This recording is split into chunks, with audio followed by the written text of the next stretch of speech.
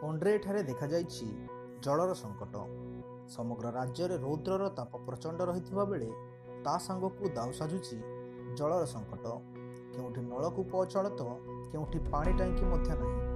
ପ୍ରଚଣ୍ଡ ଖରା ଯୋଗୁଁ ଶୁଖିଲା ପଡ଼ିଛି ନଈନାଳ। ତେବେ ଲୋକଙ୍କ ପାଇଁ ଭରସା ସାଜିଛି ବାଲି ଚୁଆଁର ପାଣି। ସବୁଠି ପାଣି ବିନା ହାହାକାର। ସେ ଉପାନ୍ତ ଅଞ୍ଚଳ ହେଉ କିମ୍ବା ଉପକୂଳ ଅଞ୍ଚଳ। ସବୁଠି ପାଣି ମୁନ୍ଦାଇ ପାଇଁ ଲାଗି ରହିଛି ମହିଳାଙ୍କ ଭିଡ଼। ହାତରେ ବାଲ୍ଟି ଗରା ଧରି ଚାରିଶହ ମିଟରରୁ ଉର୍ଦ୍ଧ୍ୱ ବାଟ ଚାଲୁଛନ୍ତି ଝିଅକୁ ନଦୀ ନାଳ ଶୁଖିଲା ପଡ଼ିଥିବା ବେଳେ ଲୋକେ ଶୋଷ ମେଣ୍ଟାଉଛନ୍ତି ବାଲିଚୁଆ ପାଣି ପିଇ।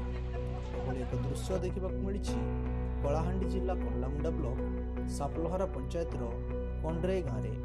ଏହି ଗାଁରେ ଚାରିଟି ୱାର୍ଡ ରହିଥିବା ବେଳେ ବହୁ ପରିମାଣରେ ଦେଖାଯାଇଛି ପାଣି ସଙ୍କଟ। ପ୍ରତିବର୍ଷ ଭଳି ଏ ବର୍ଷ ମଧ୍ୟ ଜଳର ସଙ୍କଟ। ସେହି ଗାଁରେ ନଳକୂପ ଥିଲେ ମଧ୍ୟ କେଉଁଠି ଲୁହଯୁକ୍ତ ପାଣି ତ କେଉଁଠି ପାଣି ବାହାରିବାରେ ବିଳମ୍ବ।